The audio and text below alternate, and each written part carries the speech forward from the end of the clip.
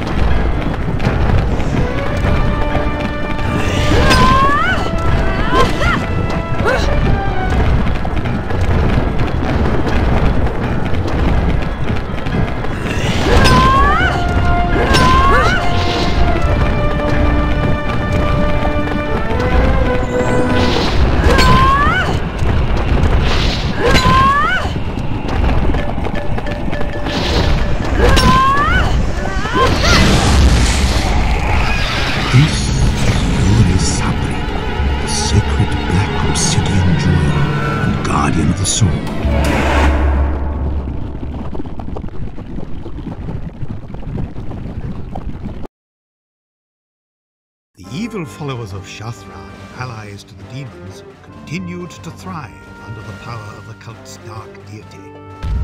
UriSabrig, the black spider of obsidian, has remained hidden, but now it is finally free from danger.